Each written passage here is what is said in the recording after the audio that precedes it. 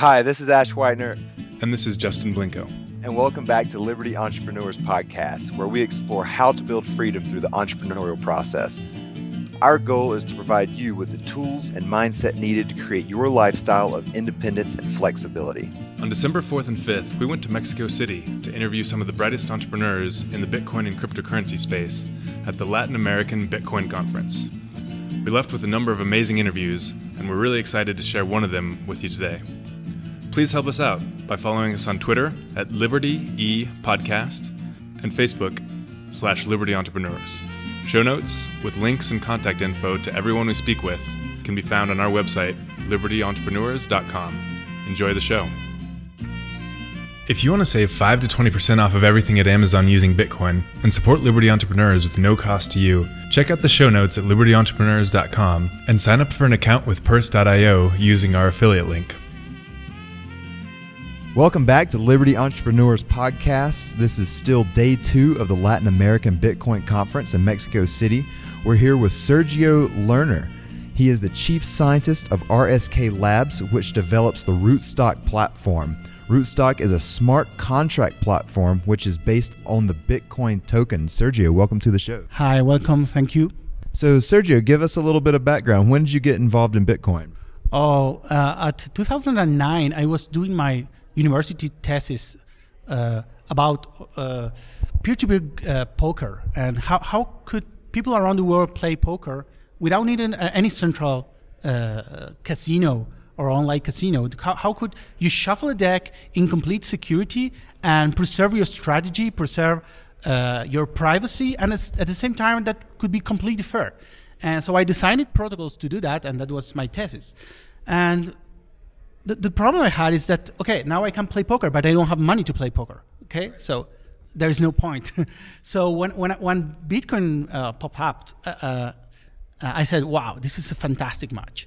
And my, my background is in computer security, so I, I, got fascinated with Bitcoin.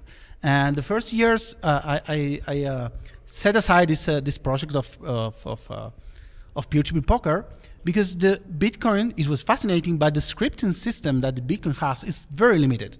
So it does not allow you to do that. And so I started working in the security of the Bitcoin, uh, finding vulnerabilities, uh, get to know every core developer, uh, get to know the industry, work for that. And when the time came, uh, I, I started developing again the platform, and that was in uh, 2013 when, when I first developed developed the first. It was the first Turing complete platform. It was called QixCoin, and it was only for online gaming, but it could do a lot more.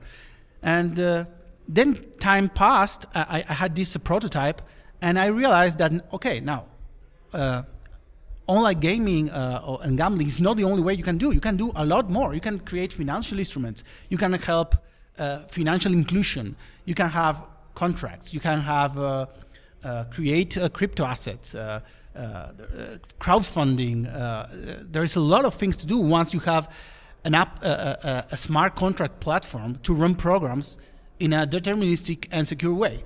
Right. So you wanted to build a platform for peer-to-peer gaming, and you couldn't do it because of the restriction of money transfer. Bitcoin comes out, and your eyes light up because you're like, "This is the missing piece in what I was trying to do." So you started developing, you started getting more involved in Bitcoin, and then talk to us more about the smart contracts, which you just mentioned. Oh yeah, uh, that, that, that these are just a few applications of what you can do with a smart contract platform. You can have a decentralized exchange. Uh, the the I think would be the, the first use of, uh, of the platform is to eliminate uh, third parties, to, to be able to transact in a peer-to-peer way. And, and everywhere you see a third party, there, there might be a possibility to, to, to remove the third party when you uh, uh program these contracts on a smart contract platform.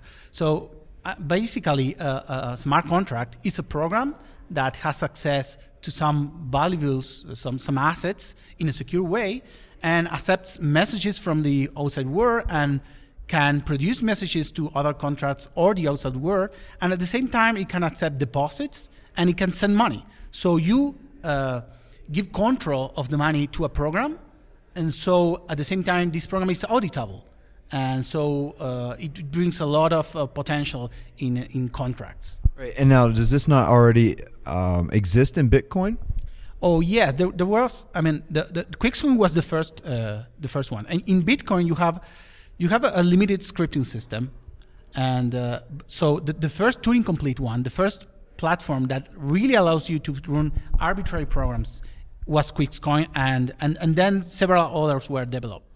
So in Bitcoin, you can do some things, but you don't have persistent state, so many other things you cannot do. So uh, by creating uh, Rootstock and by making Rootstock a sidechain, a, a Bitcoin sidechain, we are leveraging on, on, all the ecosystem, the Bitcoin ecosystem, and, and the value of the Bitcoin and the network effect of the Bitcoin to bring value to Rootstock, and Rootstock brings value back to Bitcoin, creating new use cases. This is uh, this is good for any any any other sidechain, any other Bitcoin sidechain, and Bitcoin itself. Right, because if Rootstock is successful, it's going to bring more interest and thus more capital into the Bitcoin ecosystem just in general, and it should ri- raise the price of Bitcoin, which further justifies and validates you know Bitcoin's role in in the system.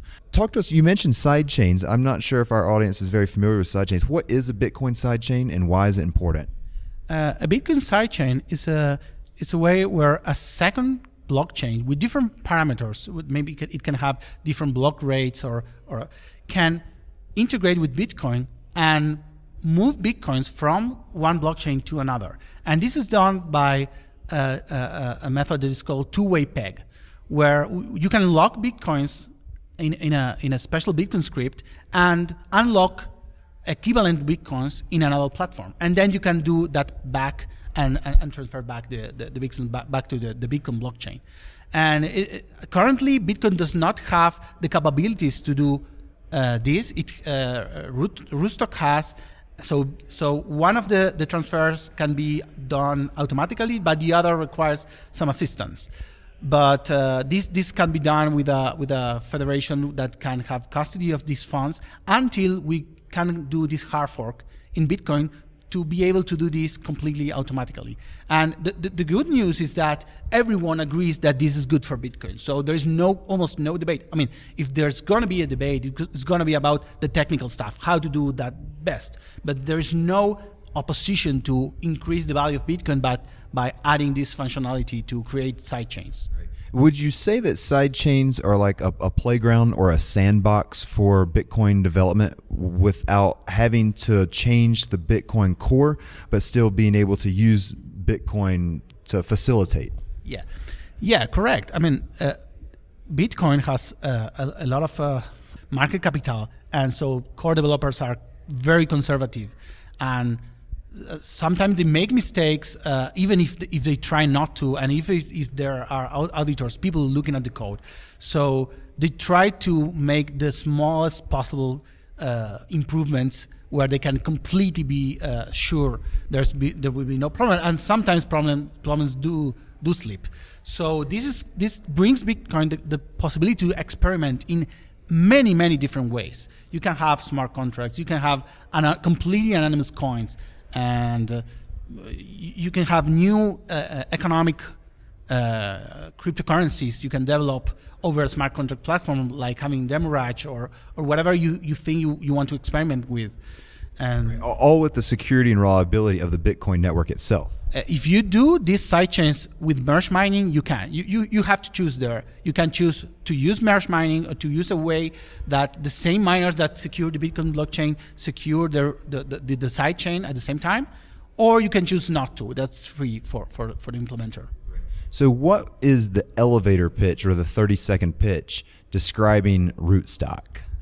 I, I'm not the, the guy who likes to do these elevator pitches because I'm the technical guy, and and, and maybe maybe Diego is, is, is, is, that guy. Oh, we'll get him on soon. Yeah, yeah. But I would say this is this is a smart contract platform based on Bitcoin, and uh, that can bring a lot of uh, added value to Bitcoin and can really incentivize and align all the interests of the Bitcoin community to to improve and at the same time, it's a fantastic payment network. It has 10 seconds block interval, and it can handle at, at the time of the launch uh, 300 transactions per second.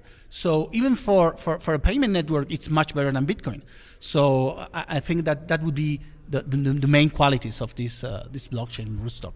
So, Sergio, you come from Buenos Aires, and there's obviously a, a, lot of lore around the Bitcoin community in Buenos Aires and the entrepreneurship. This is an entrepreneurial podcast. So, could you tell us a little bit about the entrepreneurial environment in Buenos Aires and what people are rallying around right now? Well, there, there, there has been a lot of uh, involvement in Bitcoin in, in, uh, from the from the entrepreneurs. Uh, um, the, there is the, the Fundación Bitcoin Argentina, which uh, really uh, tries to to to create a space where all these companies can can can share uh, physical space. They can they can see if there is synergy together.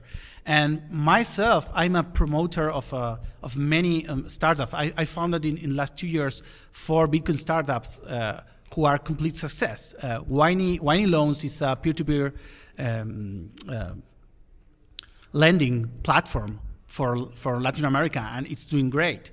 And we have Coin Fabric. It's a software factory specialized in, in, in Bitcoin development, which is doing projects for all over the world. And I have CoinSpect. CoinSpect is a, a, security auditing company that was what I was doing before Rootstock.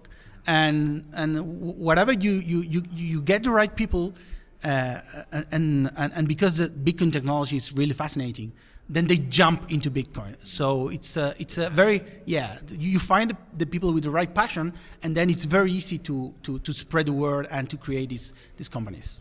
Is the the the team that's creating Rootstock are they mostly based in Buenos Aires? Are are you guys physically together, or how does that model work? Yeah, we work physically in the same place, and we have we have two offices. One is in the Fundación Bitcoin, uh, just to be near other companies, and then we have our own offices and and yeah, we are six people uh, currently in the team, and uh, and we, we really work well with, with each other. All, all we are uh, from Buenos Aires. So I know you've got a ton of people that want to talk to you, Sergio. I got one more question to ask you. If there's a young developer out there, a young programmer who's starting to learn about Bitcoin and cryptocurrencies, what advice would you give them to to start breaking into the sector and start networking and such? Well, I had to give this advice uh, two years ago or to, to, to a friend of mine. And uh, what, what I did, uh, I, I told him, okay, just go to the Bitcoin org website, try to learn as much as you can, and then I will give you a job because I have some ideas I want to develop. And uh, and when, when he when he got that very small amount of knowledge that he could got he, he could get in one week, uh, he started working, and after one month, he was a, a specialist in Bitcoin. There were very few people in the world that knew what he knew in just one month, just being completely focused. And then companies from all over the world came to him because he was one of the few Bitcoin programmers that knew completely well one of the Bitcoin uh, platforms, which was uh, Bitcoinj. So in a very short time, he became a, a, a, a Bitcoin programmer for all, all of, from projects from all over the world. So what I say to programmers is there's a huge opportunity to become uh, to become expert in this field because there are very very few programmers who can really take one, uh, one, uh, one wallet and make some modifications or, or take one, uh, one, one of these cryptocurrency platforms and, and correct some, some, some mistakes. So it's a great opportunity if you're a programmer, for example, to, to, to go and become an expert in this technology. Sergio, thank you so much for joining us today. We really appreciate it. Thank you. It's a pleasure. Right, bye bye.